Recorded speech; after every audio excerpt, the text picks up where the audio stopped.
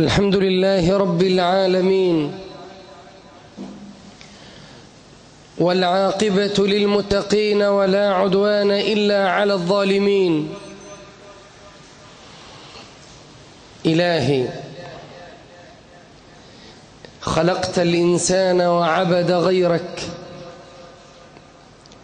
ورزقته فشكر غيرك فلما أمته لم يطلب المغفرة من غيرك. إلهي ما عرف قدرك من عصاك. إلهي عجبا إلى الأقدام كيف سعت لغير رضاك. وإلى النفوس كيف خضعت لسواك.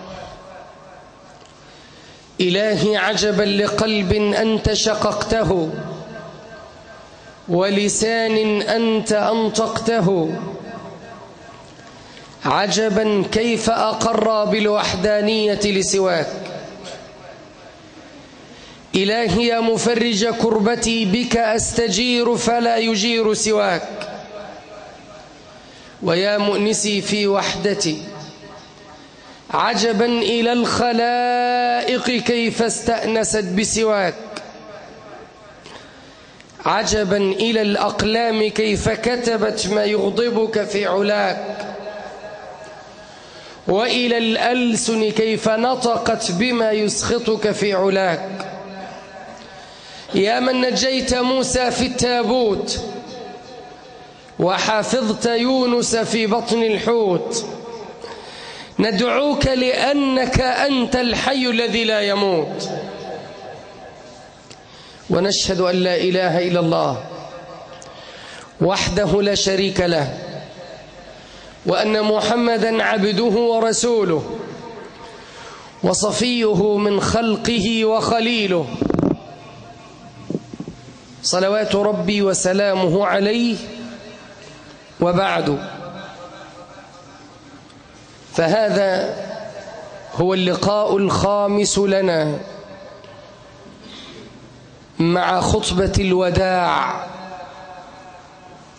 التي وضع فيها النبي صلى الله عليه وسلم وصيته الخاتمة لأمته ووضع المنهج الأمثل لحل كل المشكلات.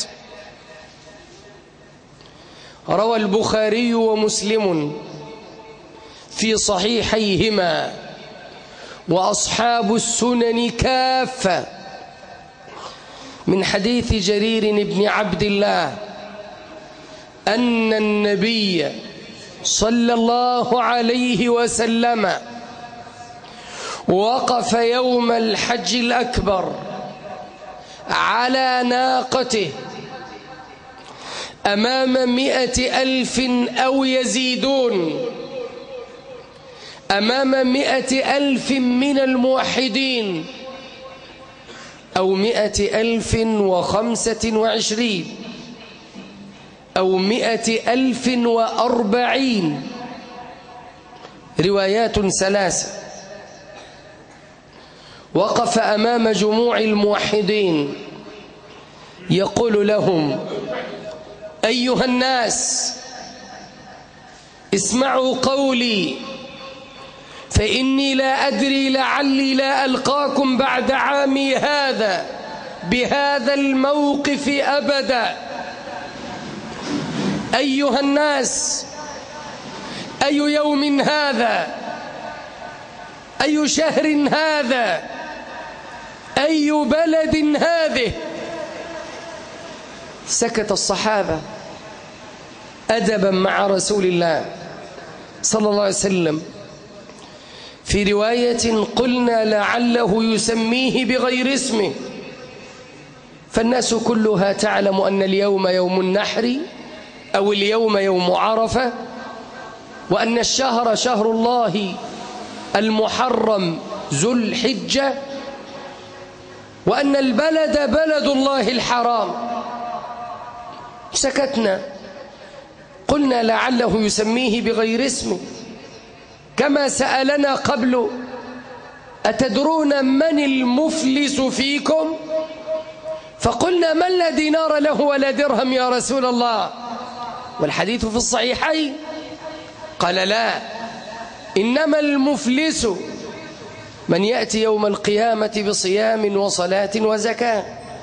وقد ضرب هذا وشتم هذا وأكل مال هذا وسفك دم هذا. فيأخذ هذا من حسناته وذاك من حسناته.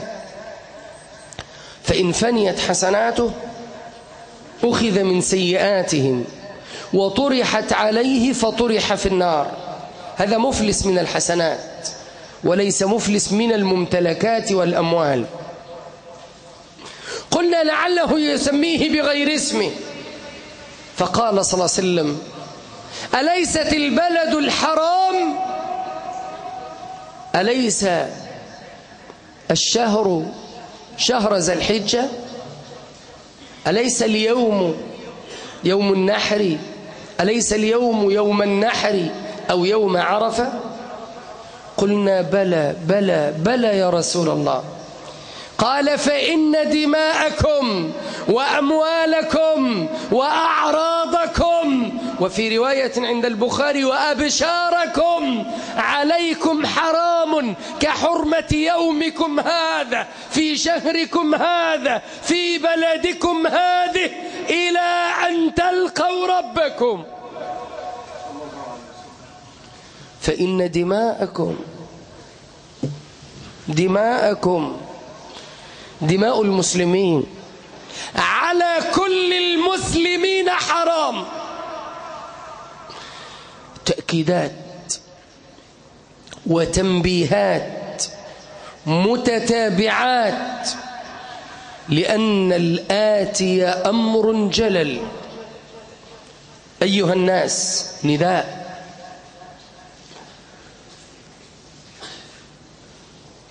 اسمعوا قولي. فإني لا أدري لعلي لا ألقاكم بعد عامي هذا. إشارة إلى قرب الوفاة وإلى أنها الوصية الخاتمة لتعض عليها بالنواجز كما يجلس أب على فراش الموت بين بنيه فيقول اسمعوا وصية الخاتمة يعطيه كل أبنائه آذانهم وقلوبهم في قمة الانتباه وفي قمة الانصياع. رغبة في تنفيذ الوصية بحذافيرها. تنبيه ثان ثم نداء ثالث أيها الناس. ثم سؤال وثان وثالث والسؤال يقتضي إجابة والإجابة تقتضي إعمال عقل وحضور ذهن. كل ذلك منبهات ومؤكدات. ثم تتتابع المؤكدات. فإن دماءكم وأموالكم وأعراضكم عليكم حرام. كل هذا ليس النبي في حاجة إليه بلغة العقل. فإن حرمة اليوم والشهر مقررة في جاهلية وإسلام. كانت الأشهر الحرم موجودة عند الكفرة حرام القتال فيها. قتال الأعداء حرام. لا الأولياء لا المؤمنين بخالق الأرض والسماء. قتال الأعداء حرام عند المشركين ومن باب أولى عند المسلمين. إلا ردا للاعتداء. فهي أمور مقررة في جاهلية وإسلام. لا تحتاج لهذه المؤكدات. ثم أعجب من بداية عجيبة يتوقف العلماء معها طويلة. أيها الناس من المخاطب؟ مؤمنون. متى؟ في العام العاشر من الهجرة والعام الأخير من البعث في العام التاسع أرسل النبي صلى الله عليه وسلم كما في صحيح البخاري أبا بكر ليحج بالناس. وهو في الطريق نزلت سورة براءة أرسل بها علي بن أبي طالب ليؤذن في الناس بأمر رسول الله. ألا يطوف بالبيت عريان ولا يحج بيت الله مشرك. بعد هذا العام فخلصت مكة للتوحيد والموحدين. ثم خرج النبي صلى الله عليه وسلم في العام العاشر على رأس الحجيج ليعلم الناس مناسك الحج وليلقي وصيته الخاتمة. فخرجت الآلاف المؤلفة لتحج بيت الله في رفقة رسول الله صلى الله عليه وسلم. فكانوا مئة ألف أو يزيدون. كل الوقوف مؤمنون. لغة العقل تقول أن يكون النداء أيها المؤمنون أيها المسلمون أيها الموحدون. لكن رسول الله صلى الله عليه وسلم قال أيها الناس لما أجاب أهل العلم بإجابات ثلاث. الأولى قال أيها الناس وهي كلمة عامة تشمل كل الخلق لا تخص المسلمين إشارة إلى أن الأخلاق والقيم والمبادئ والشرائع التي سيذكرها في هذه الوصيات الخاتمة لا تصلح المسلمين وحدهم إنما تصلح الناس أجمعين. فهي أخلاق أرضية سماوية. أي نزلت من السماء لتصلح كل الأرض ومن عليها لا لتصلح المسلمين وحدهم. أيها الناس خاطب الكل لأن الأخلاق والشرائع والقيم التي سيذكرها حقيق بها أن تصلح كل الناس. الثاني قال أيها الناس وهي من النوس بمعنى الاضطراب والتذبذب والحيرة إشارة إلى أن الحبيب صلى الله عليه وسلم يخاطب آل الاضطراب وآل الحيرة أيها المضطربون أيها المزبزبون أيها المعذبون اسمعوا تلك الوصية ففيها خيركم وأمنكم وأمانكم وراحة بالكم.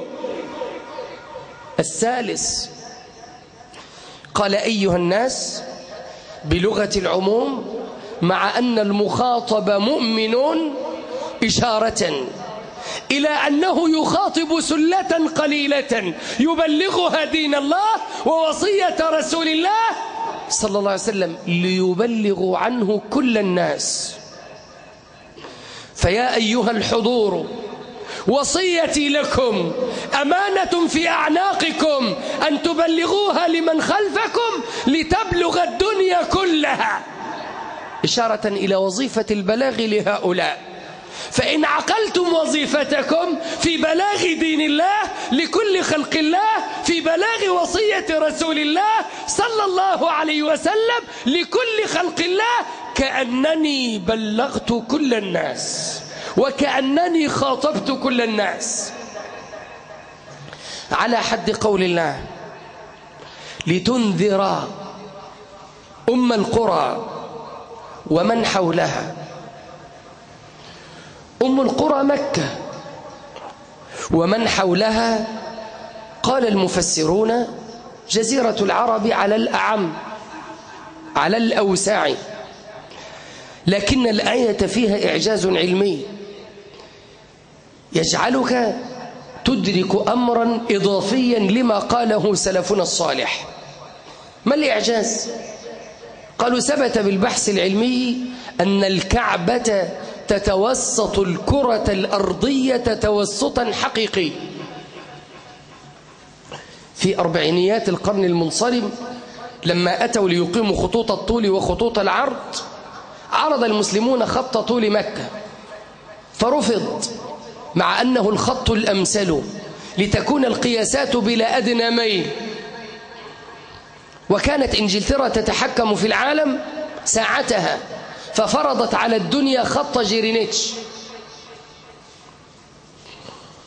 وكل الخطوط الآن فيها ميول.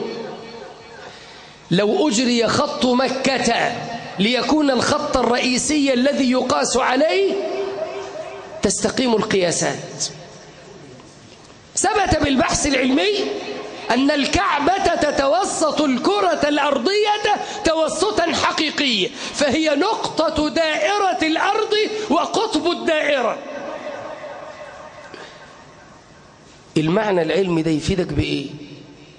حينما يقول الله لتنذر أم القرى مكة بدءا من الكعبة قبلة المسلمين ومن حولها إن أخذت تتسع بالتساوي في كل اتجاه المعنى ستملأ الأرض بدعوة محمد بن عبد الله صلى الله عليه وسلم.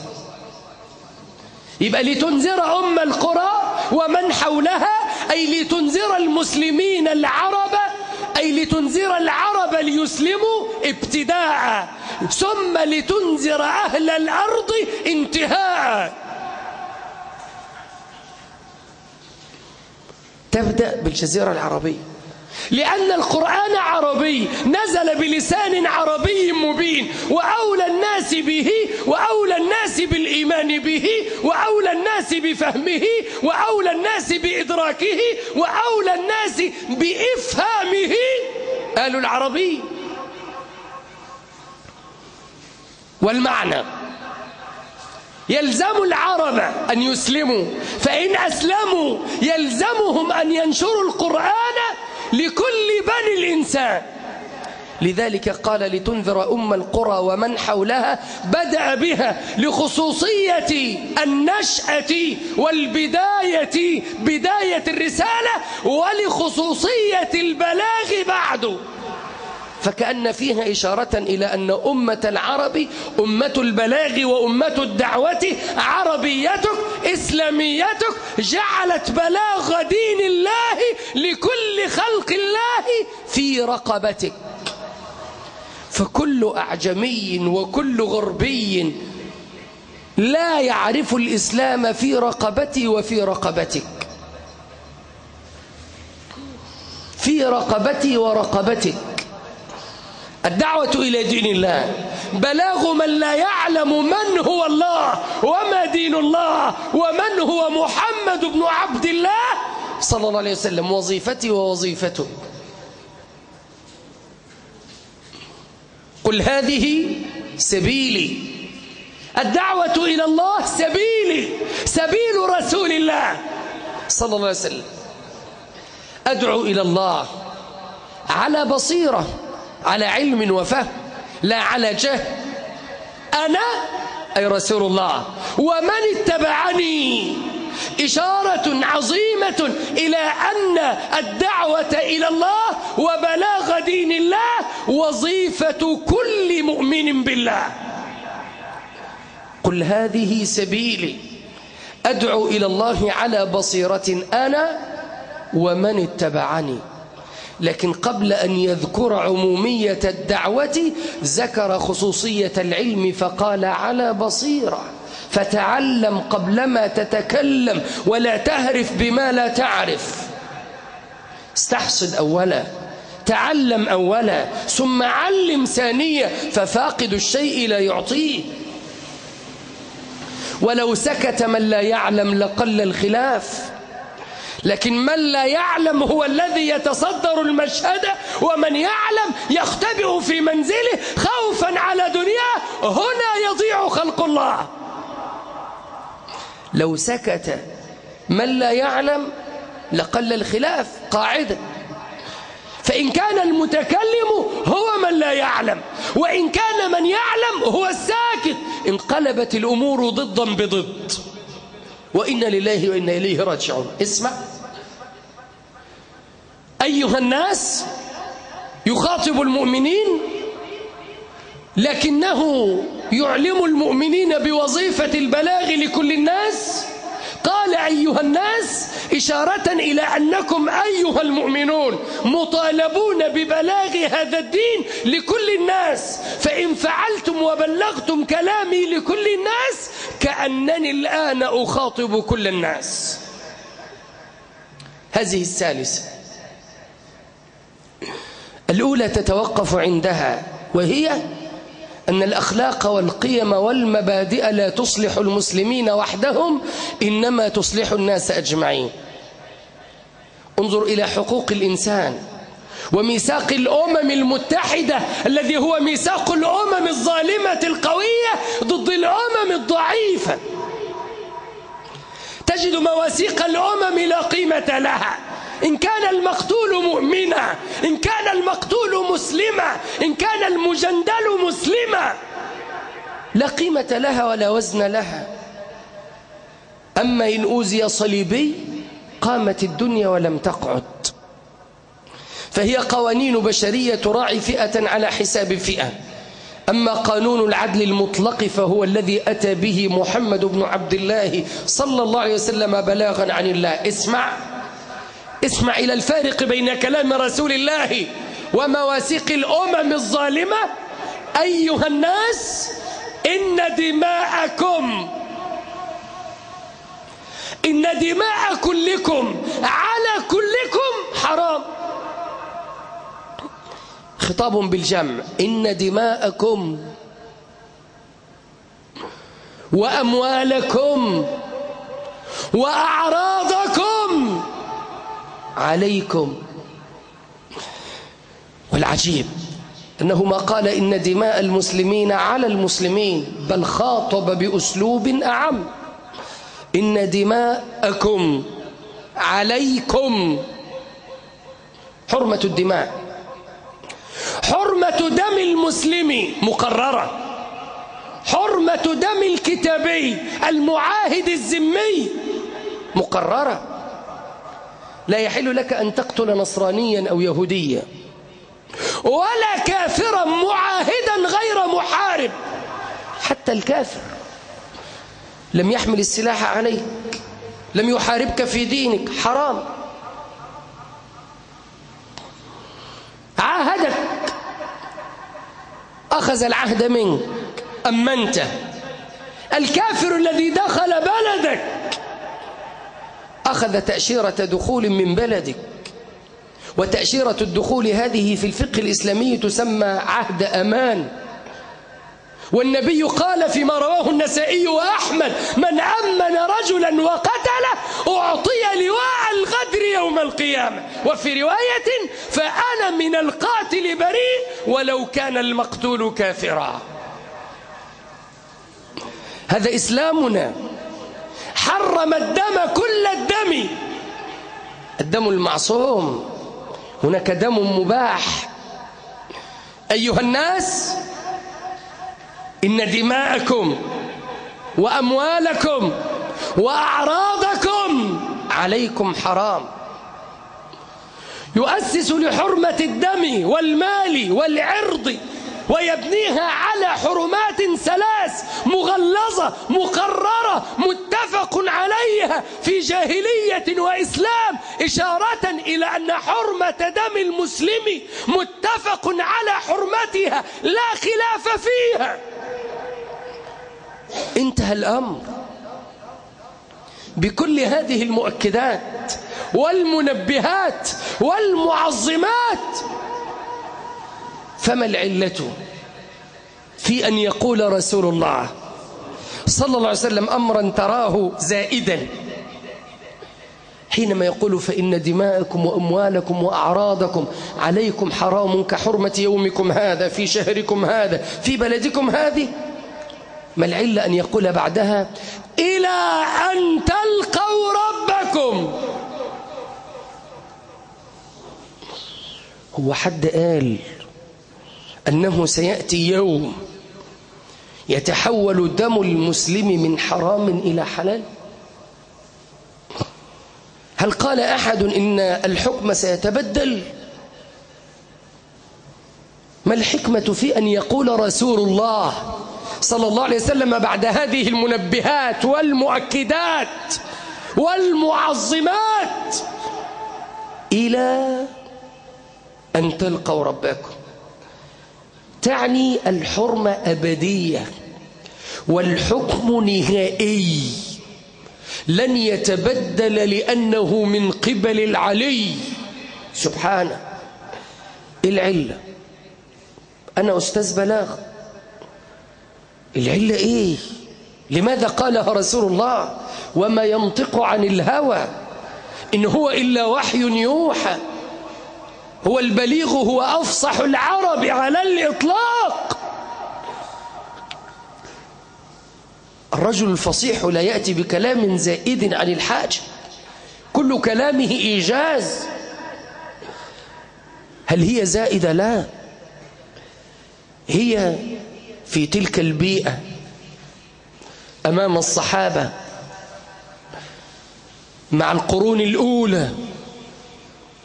مع العرب الخلص مع أهل الإيمان مع أهل الثبات على عبادة الرحمن ونسيان قدرات بني الإنسان. تكاد تراها زائدة. لكن إن عممت النظرة إلى أزمان متتابعة وإلى أوقات غابرة تحياها الآن إن رأيت أشياخا باعوا الدين والوطن. إن رأيت أشياخا باعوا آخرتهم بدنيا غيرهم وترخصوا في دماء إخوانهم ورخصوا للظلمة في دماء إخوانهم. إن رأيت هؤلاء إن سمعت ظالمهم الأكبر يقول اقتلهم والله معك. ولقد تواترت الرؤى أن الدين معك والله معك ورسول الله معك وأولياء الله الصالحون معك. من قتلهم فهو أولى بالله منهم. اقتلهم والله معك. كلاب النار يحرض على قتل مسلمين موحدين. لا شائبة لهم إلا أنهم رفضوا ظلم الظالمين. اقتلهم لهؤلاء. قال سيد الأنبياء صلى الله عليه وسلم إلى أن تلقوا ربكم. كأنه يخاطبنا اليوم يا بني الإسلام! يا بني التوحيد! يا طلاب الحق! إياكم أن تغتروا بفسده وظلمه وبائع الدين. إياكم أن تسمعوا لهم. فإن هؤلاء مدلسون. تناسوا لقاء رب العالمين وباعوا الدين من أجل رضا الظالمين. هؤلاء باعوا آخرتهم بدنيا غيرهم. لا تسمعوا لهم. لا تسيروا خلفهم. فهؤلاء أناس ماتت منهم القلوب. وتفلت منهم طريق الآخرة وعضوا بالنواجز على دنيا زائلة وتناسوا وقفة بين يدي الله. أدركت لماذا قال رسول الله صلى الله عليه وسلم؟ فإن دماءكم وأموالكم وأعراضكم عليكم حرام كحرمة يومكم هذا في بلدكم هذه في شهركم هذا إلى أن تلقوا ربكم. هذه حرمة ثابتة مقررة نهائية أبدية. لن تتبدل لن يتغير الحكم. لن يكون دم مسلم يوما ما حلالا إلا فيما نص عليه رسول الله صلى الله عليه وسلم. لا يحل دم امرئ مسلم إلا بإحدى ثلاث لا يحل. يبقى الأصل أن دمه حرام. الثيب الزاني. من الثيب؟ المتزوج. تعبير خطأ. الثيب من سبق له الزواج. ونعني بالزواج البناء. لو قلت المتزوج تعبير خطأ. لأن كلمة المتزوج يخرج منها المطلق بعد بناء والأرمل بعد وفاة زوجه.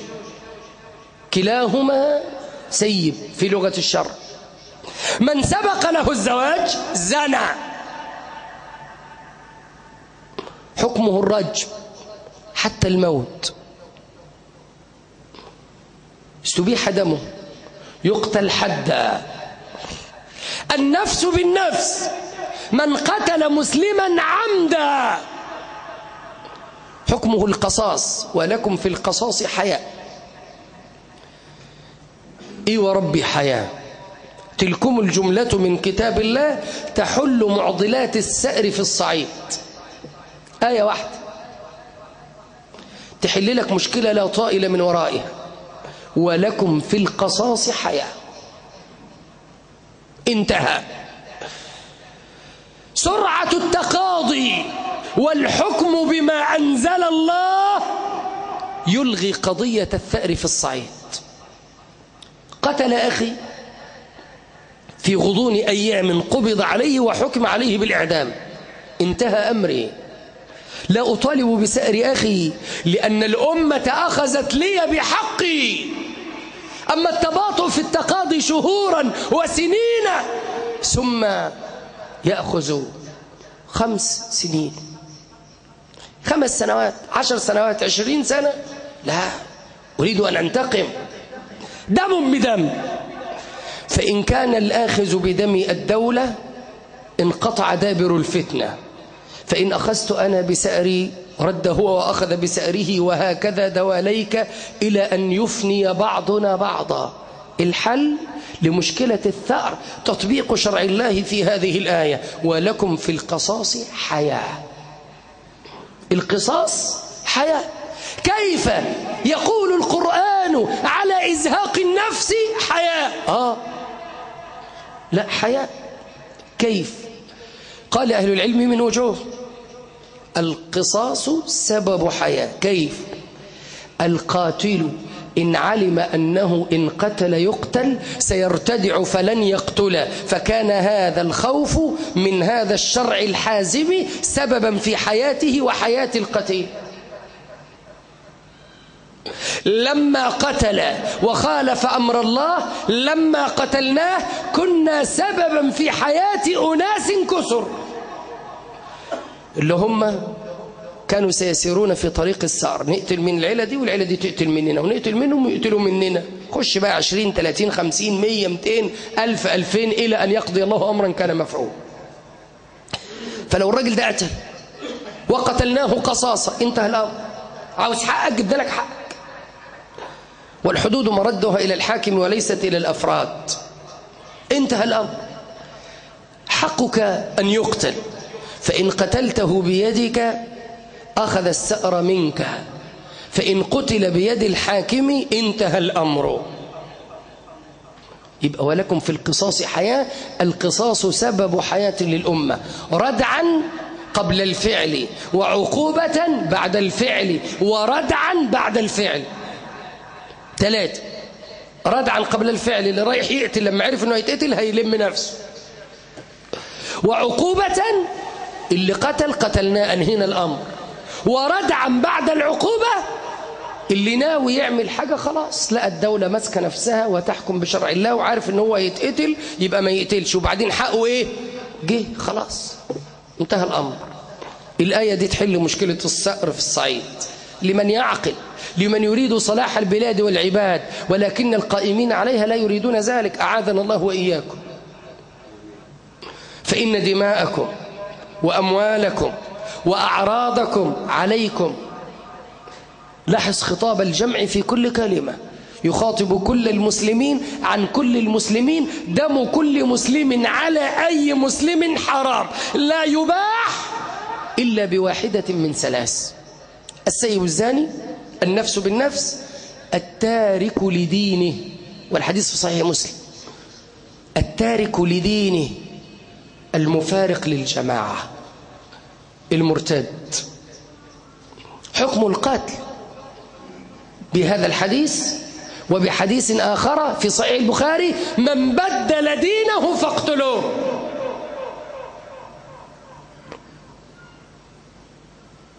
غيرت السنة قبل الماضية في ثالثة سنة ومن بدل دينه فاحترموه. تحريف في صفحة 64 من كتاب التربية الوطنية. من بدل دينه فاحترموه. يبقى الثابت على دينه المقابل بتاعها. أعاذنا الله وإياكم.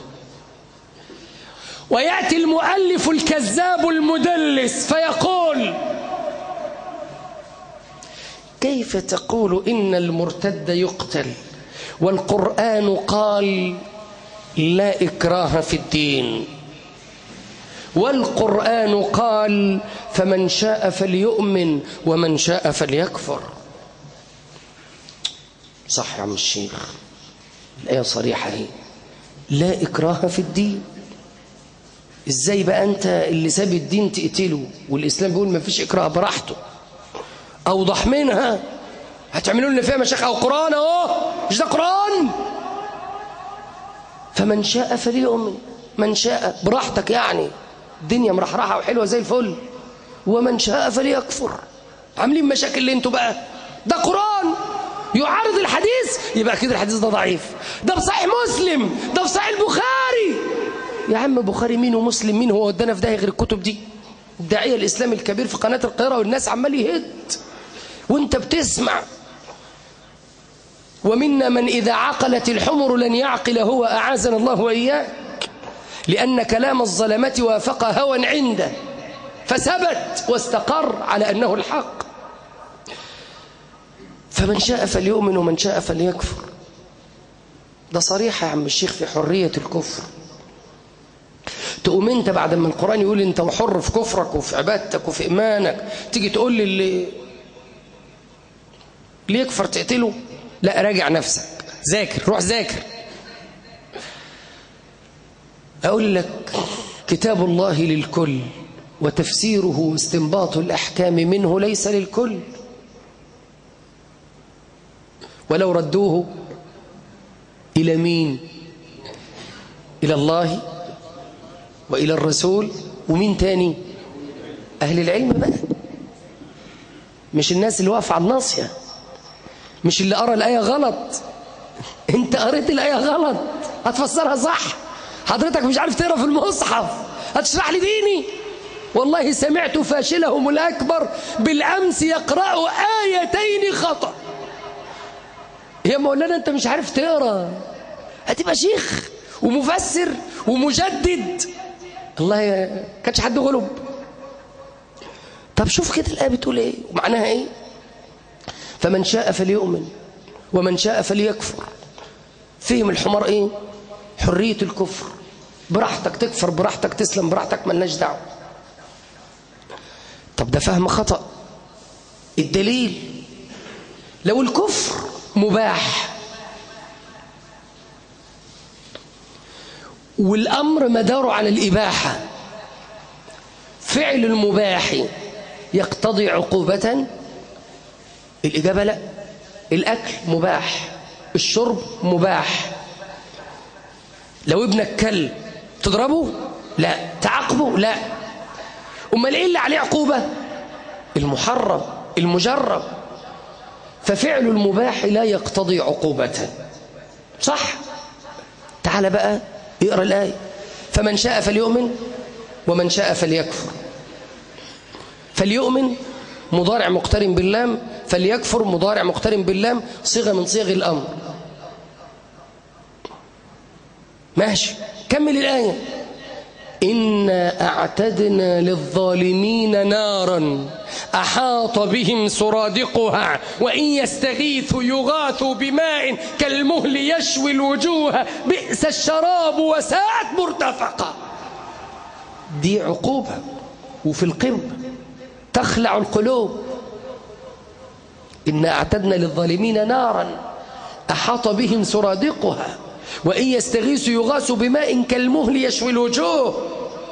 طب إذا كان الكفر مباح لما ذكرت العقوبة؟ يبقى ذكر العقوبة صرف الأمر عن المعنى الظاهري إلى معنى التهديد والوعيد. فالأمر للتهديد والوعيد. رب العباد يهدد الكفرة إن كفرتم بشديد العقوبة. يبقى تهديد يا عم الشيخ.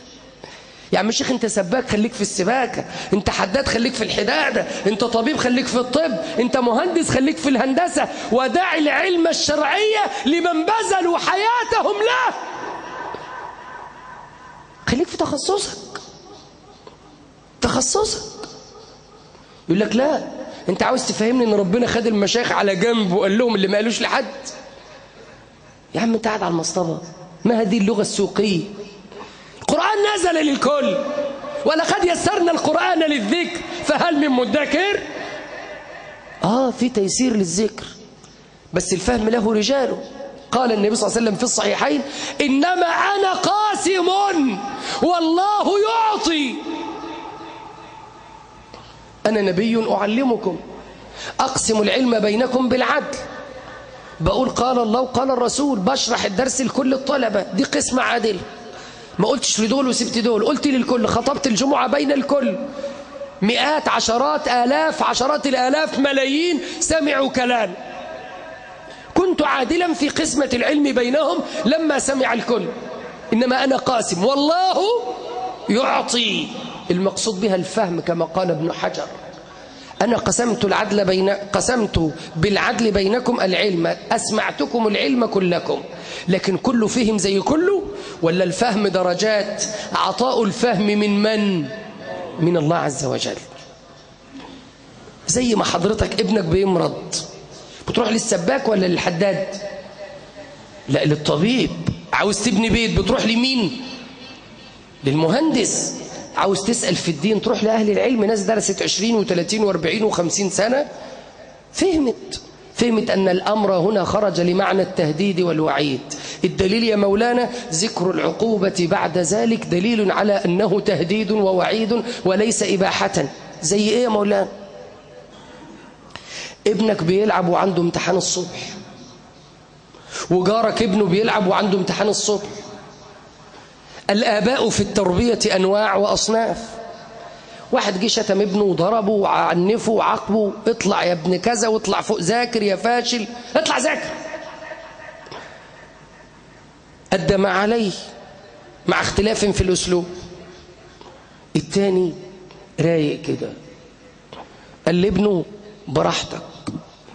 تلعب براحتك. تذاكر براحتك. مش هقول لك ذاكر.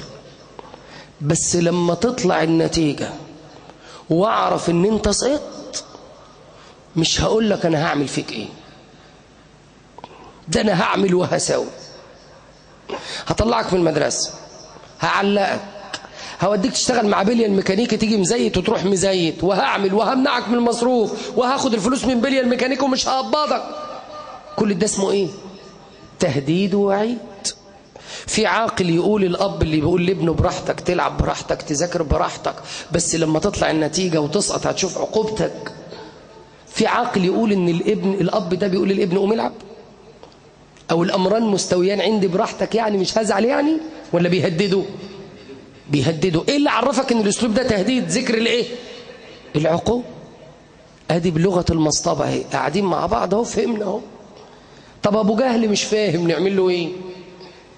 نقول الجاهل لا يتكلم ونقول له لا تهرف بما لا تعرف ولا تتكلم قبل ما تتعلم. فدين الله للكل لكن تعليم دين الله له رجاله. كلنا مسلمين وكلنا بنقرأ القرآن. كلنا نعلم القرآن كلنا نعلم الشريعة لا. كلنا بنمرض. وكلنا أطباء ولا بنروح للطبيب؟ المرض ده أمر عام. إنما لما بتمرض بتبقى طبيب نفسك؟ ولا بتروح للطبيب؟ بتروح للطبيب. اسمع لابن القيم يلخص ما نحن فيه.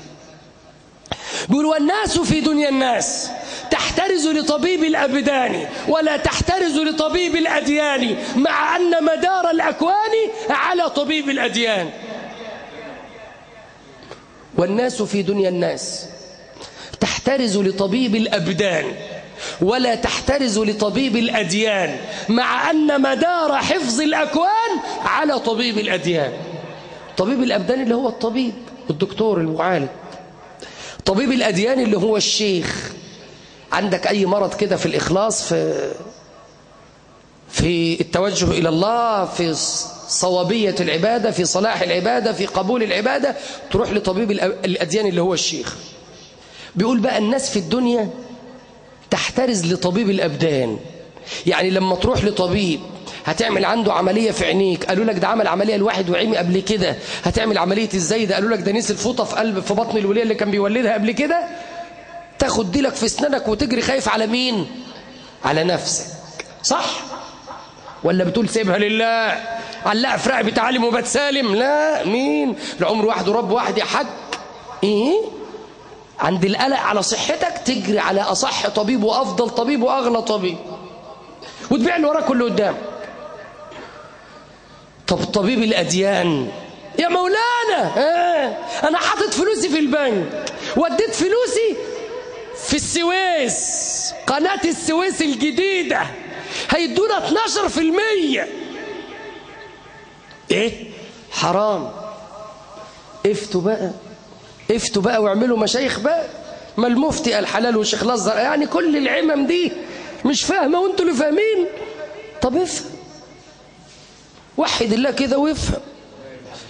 الراجل هياخد منك 60 مليار يفحت بيهم قناة جديدة انت مش عارف هو عاوزها ليه أصلا. طيب سيبنا من صوابية المشروع وخطأ المشروع. هو قال إن المشروع ده هنفضل شغالين فيه ثلاث سنين. يعني هيبتدي يدر أرباح في السنة ليه؟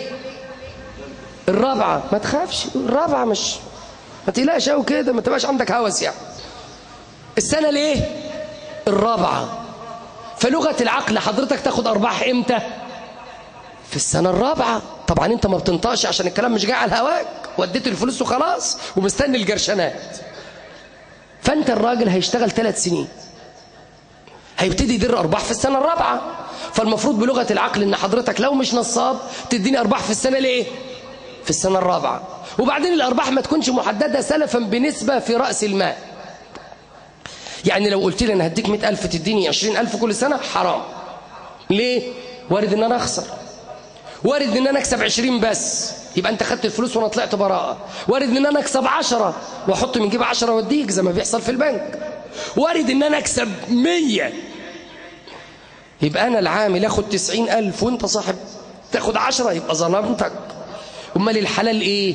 أديك نسبة في الربح. أقول لك ليك نص الربح ليك تلت الربح ليك تلتين الربح. طالما اتفقنا وتراضينا خلاص. بس نص الإيه؟ مش رأس المال. نص إيه؟ الربح. الربح ده غيب لا يعلمه إلا الله. كسبنا عشرة أنت خمسة وأنا خمسة. كسبنا مية أنت خمسين وأنا خمسين. ده حلال. هتاخد نص إيه؟ الربح. طب فين الربح في السنة الأولى؟ مفيش. في السنة الثانية مفيش. في السنة الثالثة مفيش. هتبتدي الأرباح إمتى؟ فلغة العقل والدين والشرع بتقول إن النسبة المحددة حرام شرعا وإن حددت النسبة في الربح نص الربح أو ربع الربح لما أربح. والربح هيبتدي من السنة الرابعة. يبقى أولى وثانية وثالثة حرام. طب إيه اللي بيحصل يا مولانا؟ اللي... وده دين ولا مش دين؟ فيما أحدثك. وظيفتي أن أحدثك عن الحلال والحرام. وظيفتي أن أنبهك للحلال لتفعله وللحرام لتجتنبه. فإن كان الحرام الذي تأكله يوافق هوى عندك فهذا أمرك. أما أهل العلم فوظيفتهم أن يبينوا الحق للناس. وإن كانت الغالبية على باطل لا تخشى الله تدلس على خلق الله فليس هذا ذنبا لنا. وليتكلم الناس بالعلم لننبه الناس للحق لنحذرهم من الباطل. لا لنعمم الباطل. إن لم يعجبك كلامنا فاسمع لأهل الباطل واتبعهم. هذا أمرك. أما وظيفة أهل العلم فبيان الحق لأهل الحق ولطلاب الحق. من طلب الباطل فليرحل إليه. اسمه على نفسه. أما نحن آلينا على أنفسنا أن نبلغ خلق الله الحق الذي علمنا إياه الله. من خاف فليرحل. من يخشى غير الله فليرحل. في دنيا الناس الذي يعطيك أرباحا مقدمة قبل أن يعمل نصاب. لم يعمل. ويقول لك هذه نسبة أرباح وفي السنة الثانية لم يعمل. هذا نصب لكن هو سيعطيك من أين سيعطيك من قناة السويس القديمة. قناة السويس ملك للدولة. أموالها ترحل إلى الفقراء والأرامل والأيتام والمساكين. حينما نعطي أصحاب الستين مليار أرباحا من قناة السويس القديمة التي أموالها لفقراء مصر ولأرامل مصر ولمحتاجي مصر. نأخذ أموال الفقراء نعطيه للأغنياء. الذين أخرجوا الستين مليار هي منظومة ظالمة غاشمة. الفقير يزداد فيها فقرا والغني يزداد فيها غنى. وتتسع الهوة ولا يرضاها إلا ظلمة الأغنياء. أما من يخشى خالق الأرض والسماء فإنه يخاف ذلك على نفسه وعلى عياله وعلى آخرته. ومن دلس في هذا سيلقى الله. قال ربنا وقفوهم وقفوهم إنهم مسؤولون. الكل سيقف بين يدي الله وسيسأل بين يدي الله وسيجيب عما اقترفته يداه. فإن رأيت الباطل وألفه قلبك أصبحت مشاركا. فإن اشتركت في الباطل أصبحت ذا اسم عظيم. فأقل القليل إن لم ترفض الباطل بلسانك فلترفضه بقلبك. إن لم تكن من قوال الحق فلا تكن من المطبلين لآل الباطل من الخلق. أقل القليل أن ترفض بقلبك لا أن تشارك بمالك أو بجهدك أو بلسانك. تبرأ تبرأ من كل ظلم تبرأ من كل قتل. تبرأ من استباحة الأموال. فإن رسول الله قال صلى الله عليه وسلم فإن دماءكم وأموالكم وأعراضكم عليكم حرام. ونبينا أخبر أنه إذا وقعت الخطيئة في الأرض كان من غاب عنها فرضيها كمن شهدها ومن شهدها فرفضها كمن غاب عنها. وأصل الحديث عند أبي داود. من رفضها بقلبه كمن غاب عنها. لكن مصيبة ألا تكون مشاركا في اسم باللسان أو اليد ثم يكون رضا قلبك سببا للمشاركة وعظيم الجرم والاسم بين يدي الله عز وجل. مصيبة أن تضيع آخرتك من أجل دنيا غيرك رسول الله قال فإن دماءكم دماء كل المسلمين حرام. على من؟ على كل المسلمين. لا تستباح إلا بواحدة من ثلاثة ذكرناها. دماء الجنود حرام. دماء الذين قتلوا في سيناء إن كانوا قتلوا في سيناء حرام. ودماء الذين يقتلون في الشوارع حرام. ودماء الذين يقتلون رافضين للظلم حرام. ودماء الذين قتلوا في الميادين حرام. ودماء الذين يقتلون في السجون حرام. لا تكن بعين واحدة. وأخبر عن الحرام بكل طوائفه وبكل أنواعه. نبرأ إلى الله ممن قتل أبناءنا وجنودنا في أي مكان بغير وجه حق. كما نبرأ إلى الله ممن قتل إخواننا في الشوارع وفي الميادين وفي الزنازين. نبرأ إلى الله من هذا وذاك. أما أن تكون شيخا فتخرج وتبرأ إلى الله ممن قتل الجنود وتسكت لا. أن ترى الدماء مراقة من كل الفصائل الإسلامية مغيبها وغير مغيبها وتسكت؟ أو تتكلم في فصيل دون فصيل أو لا تتكلم في الدماء أصلا فإن السلف قالوا من رحل إلى بلد تراق فيه الدماء دماء الموحدين وتكلم في الصوم والصلاة فهو خائن لله. اعقلوا هذا إلى الساكتين إلى الخائفين. من رأى دماء المسلمين مراقة وسكت أو تكلم في الصلاة والزكاة وترك دماء خلق الله مستباحة من الجهلة من خلق الله أو من الظلمة من خلق الله وتكلم في غير هذا في فقه الأولويات وفقه الواقع وفقه اللحظة فهو خائن. إن دخلت عليك وحدثتك في الصيام والصلاة والزكاة وتركت الحديث في الأمر الذي يعم أهل الأرض فأنا خائن أدلس عليك أوجهك لغير التوجيه الصحيح إلى الساكتين إلى الخائفين إلى المدلسين إلى بائعي الدين إلى المترخصين اسمعوا ولقد جئتمونا فرادا. لن تلقى الله بحرسك ولا بوزارتك ولا بمحافظتك ولا بمشيختك ولا ولا ولا. ولقد جئتمونا فرادا كما خلقناكم أول مرة. كيف ولدت؟ أعظم العظماء أظلم الظلمة. أخبروني عن رجل نزل من بطن أمه والحرس كانوا معه فخرجوا معه. أخبروني ولقد جئتمونا فرادا كما خلقناكم أول مرة. بس وتركتم ممتلكاتكم. لا ما كنت تملك شيئا. إنما الملك هو الله والجبار هو الله. وتركتم ما خولناكم وراء ظهوركم. لا ثلاث سبعات ولا خمس خمسات ولا حرس ولا وزارة ولا محافظة ولا مشيخة. معك عملك وما قدمت يداك ولسانك. وتركتم ما خولناكم وراء ظهوركم. أعدوا لهذا اليوم عدته.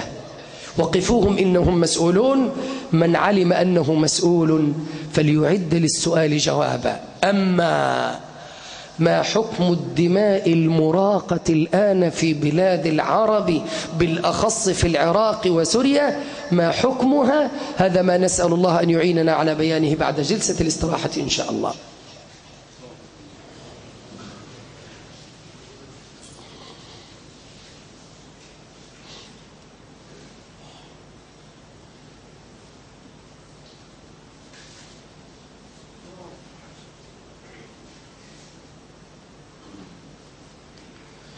الحمد لله وكفى. وصلاة وسلاما على عباده الذين اصطفى. ونشهد أن لا إله إلا الله وحده لا شريك له. وأن محمدا عبده ورسوله. وصفيه من خلقه وخليله. صلوات ربي وسلامه عليه وبعد. فإن من المقرر الذي لا خلاف عليه وعليه إجماع أهل العلم في كل زمان ومكان أن حرمة دم المسلم أبدية لم تبح إلا بما استثناه رسول الله صلى الله عليه وسلم من الأمور الثلاثة التي ذكرناها. فما حكم هذه الدماء المسالة؟ حرام. دماء أي فصيل مسلم بغير وجه حق حرام. أي مسلم بأي توجه يحمل لا إله إلا الله لم يدخل تحت واحدة من الثلاث دمه حرام. أيا كان وصفه أيا كان انتماءه طب يا شيخنا أما أباح رسول الله صلى الله عليه وسلم في الحديث الصحيح قتل الخوارج؟ بلى أباح. قال إن أدركتهم لأقتلنهم قتل عاد وإرم لكن قبل أن تتحدث عن إباحة دم الخوارج من هم الخوارج؟ قال النبي فيهم صلى الله عليه وسلم يمرقون من الدين كما يمرق السهم من الرمية خرجوا من الدين بسوء الفهم أو بانعدام الفهم أو بنقيض الفهم الصحيح. يقرؤون القرآن لا يجاوز تراقيهم لا يجاوز حناجرهم يعني لا يصل إلى العقول لتفهم لا يفهمون. ينزلون آيات الكفرة على الموحدين يكفرون الناس ثم بعد تكفيرهم للمسلمين يستبيحون دمهم. هؤلاء هم الخوارج. هل الذين استبيحت دماؤهم في الميادين يكفرون الناس؟ إن كانت الإجابة لا فقتلهم حرام وظلم ومن أباح قتلهم مسؤول عن كل هذه الدماء أمام الله. واعلم أن النبي قال كما في صحيح مسلم صلى الله عليه وسلم قال أول ما يقضى فيه بين الخلق يوم القيامة الدماء فأبشر. أبشر يا ابن الحق يا من قتل ولده أو أبوه أو أخوه أو حبيبه أو جاره. أنك آخذ حقك لا محالة إن لم تأخذه اليوم فستأخذه غدا بين يدي من؟ الله. وهو الذي وعدك بالنصرة في قوله ومن قتل مظلوما فقد جعلنا لوليه سلطانا فلا يسرف في القتل إنه كان منصورا. من القائل؟ الله. أعد. إنه كان منصورا. من الذي يعد بالنصرة؟ الله. أبشر. أطمئن. بين يدي الله أول ما يقضى فيه الدماء. ستأخذ حقك. يبقى من قتل الموحدين بغير سبب سيسأل وكل الدماء التي أريقت ستوضع في رقبة من أفتى بحلية إراقتها. وقد يكون حمله أكثر بين يدي الله ممن باشر القتل إن كان جاهلا. طب هناك الدولة الإسلامية خوارج يكفرون الناس. من الذي أعلمك؟ هل لقيتهم؟ ماذا تعرف عنهم؟ أنا لا أعرف عنهم شيئا. وما يأتي إلينا من إعلامنا وأنا لا أثق في هذا الإعلام فهو في أغلبه إعلام فاشل كذاب. يجعل من الظالم الطاغية عمر بن الخطاب ويجعل من التقي قوال الحق مسيلمة الكذاب. إعلام لا يخشى العلي الوهاب ولا يقيم اعتبارا للقاء رب الأرباب. أنا لا أصدقه. رأيته قبل يحرض على قتل المسلمين ورأيته قبل يدلس على الناس أجمعين ورأيته ينال من كل ما هو إسلامي فهو عندي غير مصدق. هو عندي غير مصدق لا في قليل ولا كثير. ثم أسير معك. ولنفترض جدلا أنهم كما تقول على إرهاب وتشدد وتكفير. خوارج. سؤال ماذا فعل علي بن أبي طالب بن عم النبي صلى الله عليه وسلم في حكمه مع الخوارج خرج عليه أربعة آلاف. أرسل إليهم عبد الله بن عباس. جلس إليهم حاورهم ناظرهم أعلمهم وجههم بصرهم فعاد منهم ألفان. ثم قاتل الألفين الآخرين. يبقى الحوار سيدنا عبد الله بن عباس ابن عم النبي المختار صلى الله عليه وسلم جاب نتيجة بنسبة كام؟ خمسين في المية. هل فعلت ذلك؟ هل رحلت إليهم؟ هل علمتهم؟ هل بصرتهم؟ هل أعلمتهم بأخطائهم؟ الإجابة لم يحدث. الثانية من الذي يقاتلهم؟ من الداعي لقتالهم؟ أمريكا. ما رايتها إسلامية أم صليبية؟ صليبية. هل يحل لمسلم أن يقاتل مسلما تحت راية صليبية؟ الإجابة لا. الثالثة أتريد أمريكا والغرب منا ولنا خيرا؟ الإجابة لا. إن كانت تريد خيرا لآل سوريا كانت قد وقفت ضد بشار الذي قتل مئتي ألف من أهل السنة. أو وقفت ضد الشيعة في العراق الذين قتلوا قرابة المليون من أهل السنة. وآخر مذبحة قتل سبعون من آل السنة من المسلمين يوم الجمعة منذ شهور قليلة أو أقل من شهرين. سبعين مسلم ذبحوا ذبح النعاج في المسجد في صلاة الجمعة على أيدي ميليات الشيعة إليشيات الشيعة. إن كانوا رحلوا لتخفيف الظلم عن المظلومين. أين هم من مسلمي ميانمار وبورما؟ الذين يذبحون ويقتلون ويحرقون أحياء لأنهم مسلمون. أين هم من خمسة ملايين مسلم في الصين يقطعون إربا إربا أحياء؟ أين هم مما يحدث في مالي أو الصومال؟ لا وجود له هم لا يتدخلون لنصرة ضعيف مسلم. لا يتدخلون لهذا. قلت لك ميثاق الأمم المتحدة هو ميثاق الأمم القوية الغنية الصليبية ضد الأمم الإسلامية الضعيفة لا يتحركون لمسلم تراق دمه. أين هم؟ لا وجود لهم أقر أخيرا قائدهم أن الضربات التي توجه للدولة الإسلامية في مصلحة بشار لا محالة. جميل. هم الذين كانوا يقررون وينوون فرض العقوبات وحرب بشار لإسقاطه. ما فعل؟ لأنه شيعي نصيري علوي امتداد لإيران التي تريد أن تجعل الخليج العربي خليجا فارسيا وأن تبسط سلطانها على المسلمين. هذا الامتداد الطبيعي. فالخلاصة يا عبد الله إن كنت لا تعلم عنهم شيئا فأقل شيء ألا تشترك وفوق ألا تشترك أن ترفض هذا. مع علمنا أن من اجتمع الغرب والأمريكان والصليبيون على حربه لابد أن يكون صوابا أو على الأقل قريبا من الصواب أو على الأقل له حق في رقبتنا. أظهر ما أريد أن أوصله لك أن قتال المسلم لمسلم ولو في الظاهر تحت راية صليبية لا يجوز. هذا غاية ما أعاننا الله على بيانه.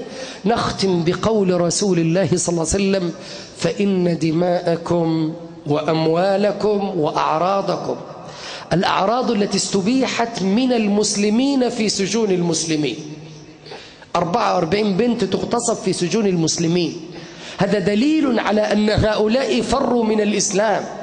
وحاربوا المسلمين فإن دماءكم وأموالكم وأعراضكم أختم بها لأبلغك ولأجعلها في رقبتك إن دلس عليك مدلس أو كذب عليك كذاب إياك أن تتخيل أن أخاك المسلم يوما ما سيكون دمه أو عرضه أو ماله حلال. من قال لك فاعلم أنه كذاب لا يخشى الكبير المتعال.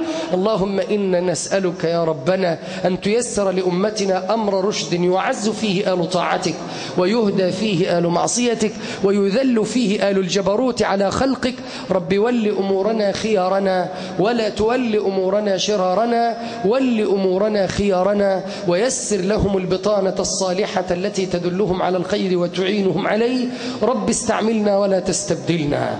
رب استعملنا ولا تستبدلنا. رب إنا نسألك ألا يؤتى الإسلام من قبلنا. رب لا تؤاخذنا بما فعل السفهاء منا. رب لا تؤاخذنا بما فعل السفهاء منا. رب لا تولي علينا بذنوبنا من لا يهابك فينا ولا يرحمنا. رب انصر الحق وأهله واخذل الباطل وحزبه وأعد الحق لأهله. رب فرج كربنا وأزل همنا وغمنا وانتقم ممن ظلمنا. رب فرج كربنا وكرب إخواننا في سوريا وبرما ومالي وفلسطين وإفريقيا الوسطى وميانمار. ربي فرج كرب المكروبين في كل مكان وانصر الموحدين من آل السنة في كل مكان. رب شغلنا بأنفسنا عن المجندلين من إخواننا فكن لهم يا رحمن. كن لهم ولا تكن عليهم. كن لهم ولا تكن عليهم. لا تؤاخذنا بتقصيرنا في حقهم يا أرحم الراحمين. رب اهد شباب المسلمين وفتيات المسلمين وارزقهم العفاف والحصان أجمعين. فك الكرب عن المكروبين وسد الدين عن المدينين واشف مرضانا ومرضى المسلمين ورد إلينا الغائبين. وفك أسر المأسورين واجعل أسرهم في موازين حسناتهم. رب اغفر للمسلمين والمسلمات المؤمنين والمؤمنات الأحياء منهم والأموات. إنك سميع قريب مجيب الدعوات. عباد الله اذكروا الله يذكركم واشكروه يزدكم واستغفروه يغفر لكم وأقم الصلاة عبد الله إن الصلاة تنهى عن الفحشاء والمنكر ولذكر الله أكبر والله يعلم ما تصنعون وقبل أن أنزل لا تنسوا فقيركم لا تنسوا يتيمكم لا تنسوا أرملتكم لا تبخلوا بمال الله على عباد الله وكونوا عباد الله إخوانا